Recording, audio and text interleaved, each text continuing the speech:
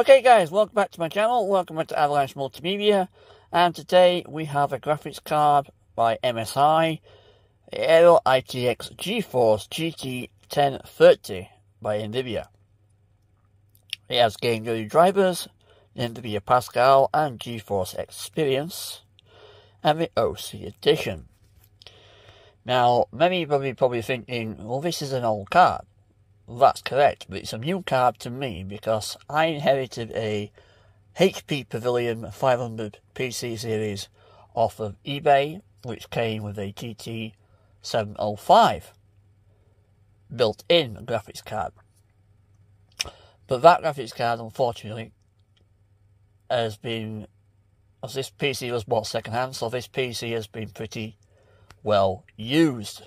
So the graphics card I found when I'm streaming can handle lower powered games, but it's got the lower graphics, but the higher graphics like Sea of Thieves, uh, Star Wars The Old Republic, and higher games than that, it has trouble shading the, the details in on certain items.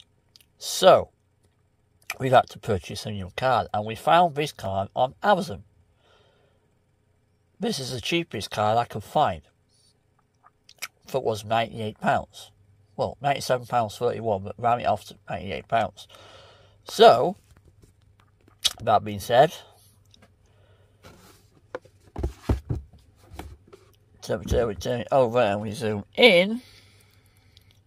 You guys can see the details at the back, but it has the MSI Afterburner in the industry standard feature rich graphics card utility that provides a wealth of features. MSI Predator Video Capturing is an integrated with Afterburner to allow you to recap your greatest gaming moments while MSI Kombustor helps you check your system. Stability. This is all built on MSI's Afterburner amazing overclocking software, which you can now take with you on the road with MSI's Afterburner app for iOS. This is Apple, if anyone doesn't have an Apple phone, and Android, which is everyone knows is Google. But it also has. I'll go in a bit closer. Without my finger coming over the camera, which it seems to be doing. Hang on. Well, okay. That's about as close as I can get. You've got support direct 12 effects, tests, advanced fan speed control, support multi GPU mode, support time and video capturing, real time video capturing, and Windows controlled by Android and iOS handheld version. You also have a PCI Express. Um, the GPU is GeForce GT 1030. Memory size 2GB DDR4. Memory bus 64-bit. Output HDMI SL DVI-D.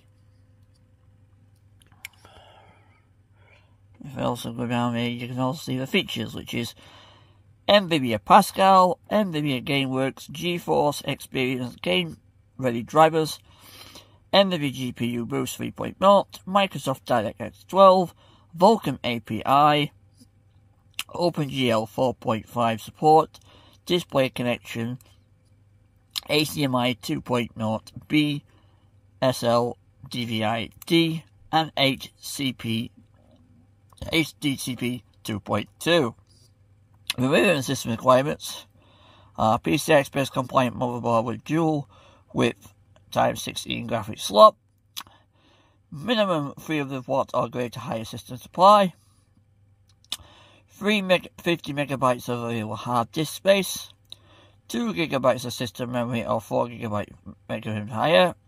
Microsoft Windows 10, Windows 8 or Windows 7, 32 or 64 bit, and an internet connection. Um, it has a solid cap of 10 years ultra long life, extreme low ASR, lower temperature, higher efficiency. If you are gaming, then it will last 12 years. If you are using it as just an office, it will last 40 years. So in a moment, I will empty the box and you can see the actual graphics card itself and what else comes in the box with it. So first off, you have a thank you for choosing uh, MSI product. This product was made with great passion and we hope you enjoy it. Please register your MSI product at http slash slash slash register.msi.com. With the product registration, you can be served faster and participate in the discussions on forum and blog, especially with award activities. And there's nothing on the back. That is all we have. Okay. And next up, you have the MSI Quick Users graphics card with all the QR codes for different introductions. If you want to do watch the um, demonstrations, you also have the installation guide for AMD and the installation guide for NVIDIA because this graphics card, uh, the chip inside the actual NVIDIA graphics card is an AMD Fire Pro, if anyone doesn't know. And we turn it over, it'll then show you the package contents of the, it's got this guide, the graphics guide itself, and it will show you the system requirements, and it will show you auxiliary tools, and also hardware installation on the next page, which I will show you in a moment. So here we are, hardware installation step 1, take off the PC's panel, take off the PCI slot at the back, 2, insert the graphics card and clip it in,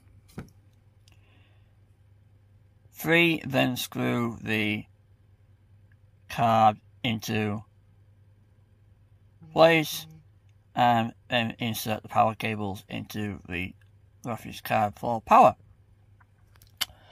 And number four, screw it all back together and connect it to your monitor.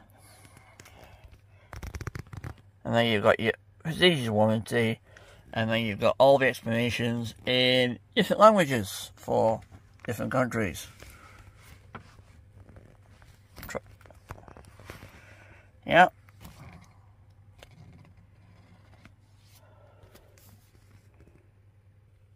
If we turn it over, we've got exactly the same size. You've got English, Dutch, French, um, you know, so on. Polski, Portuguese, Espana, Turkey.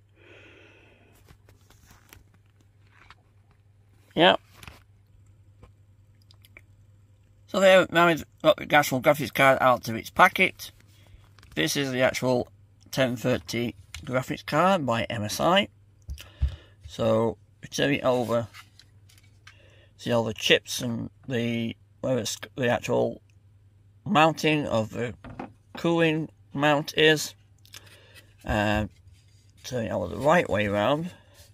You've got the DVI slot on the side there, and the 2.0 HDMI on the corner, with the caps in to protect from dust getting into the ports. Yeah, and that's the side view of the card.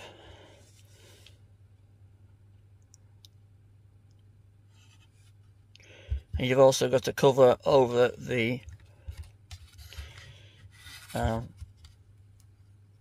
pins as well, as you can see, protecting the pins from getting damaged.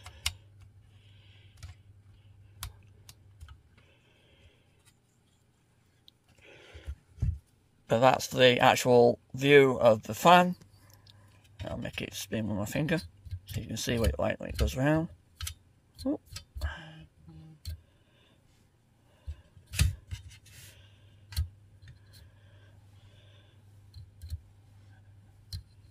You get the idea.